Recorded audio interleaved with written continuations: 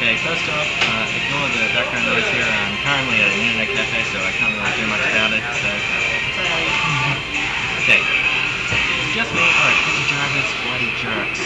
I mean, about six hours ago, I was sitting out front of that little place here on the road. I let this taxi driver go up in front of me, I gave way to him, and as he gave way, as I gave way to him, he gives me the bloody finger. Oh, I'm sorry, Mr. Taxi Driver, that I let you go ahead. I'm sorry that I was being so uh, courtesy for you. And I'm not sorry that you frickin', frickin', frickin', frickin' made me post this video.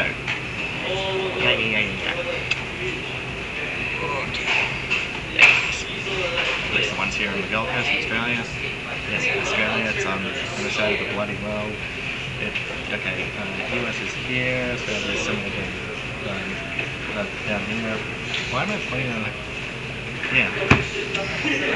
I'm playing on a screen, I can't even tell what I'm doing. I suck. I suck. What are you gonna do, man? Can you come in, please?